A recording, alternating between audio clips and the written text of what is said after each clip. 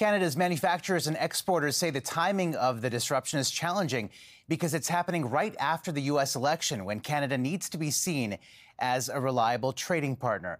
Today, Donald Trump revealed some names of who will fill key positions in his cabinet, including the man now responsible for carrying out one of Trump's more controversial campaign pledges. And there are reports tonight he's set to name Florida Senator Marco Rubio as the Secretary of State.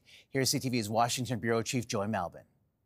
I, Donald John Trump. When Donald Trump takes the oath of office a second time, he plans to carry out the largest mass deportation of illegal immigrants in U.S. history.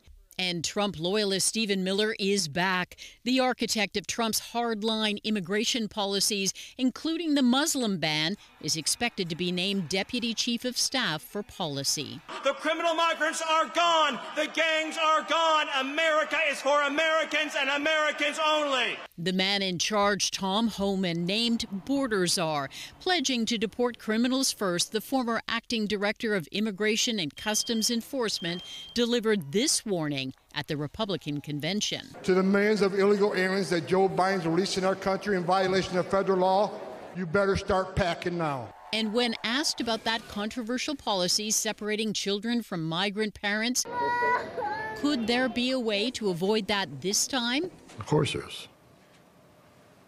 Families can be deported together.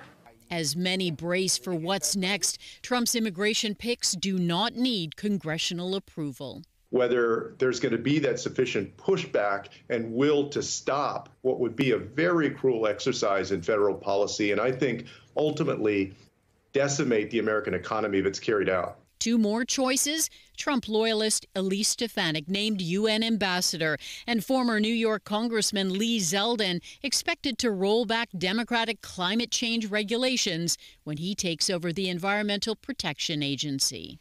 President Joe Biden meets with Donald Trump in Washington Wednesday, a tradition to show the world there will be a peaceful transfer of power. Melania Trump has indicated she will not attend. Omar? All right, Joy, thank you.